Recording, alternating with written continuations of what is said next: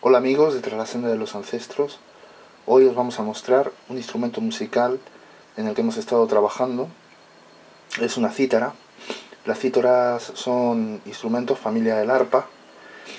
Pertenece a la clasificación de los cordófonos. Son instrumentos muy antiguos que se conocen bastante en el folclore griego clásico. Y bueno, nosotros nos hemos basado en el cantele, que el cantele es una cítara de Finlandia, es el instrumento nacional de Finlandia. Eh, en principio el cantele tiene cinco cuerdas, pero bueno, con el tiempo se le han ido agregando muchísimas más cuerdas. Eh, la estructura, toda la estructura es de caoba africana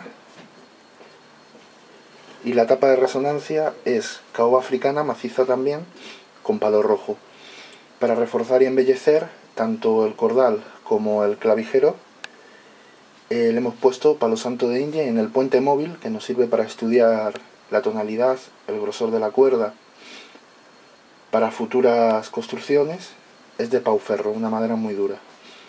Y a continuación eh, vamos a grabar un pequeño vídeo para que escuchéis el sonido.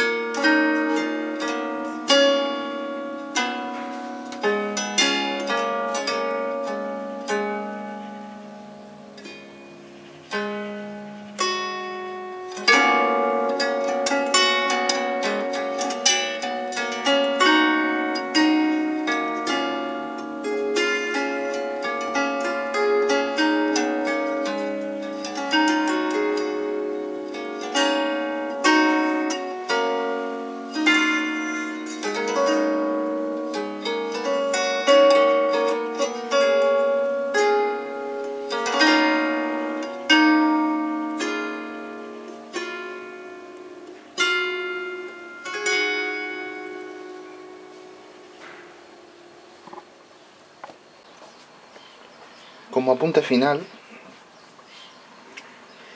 deciros que esta cítara tiene 10 cuerdas y las cuerdas son metálicas. Eh, no hay que pisar trastes ya que no tienen diapasón, sino que vamos a tocar cuerda por cuerda, utilizando, podemos utilizar todos los dedos que queramos, pero normalmente en el cantele, según nos hemos informado, se utilizan los tres estos tres de las dos manos. Podemos tocar nota por nota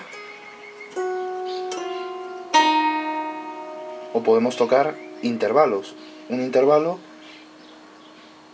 no es como un acorde, que son tres notas. Un intervalo son dos notas. Cuando son más de dos notas es un acorde. ¿Vale? Pues un intervalo, por ejemplo, sería así. Y también podemos tocar acordes. Por ejemplo,